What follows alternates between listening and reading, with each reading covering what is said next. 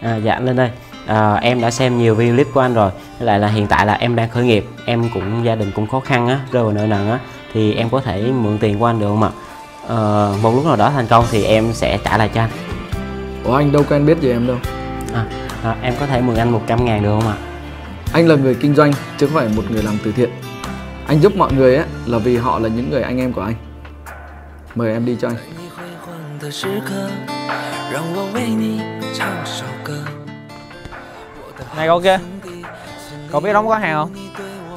Muốn kiếm tiền cho hôm nay không? Dạ muốn. Bây giờ cậu theo tôi đi đóng gói hàng cho tôi Ngày tôi trả cậu 200 ngàn 哪怕是 Đi thôi con 结果，哭点累点，又能算什么？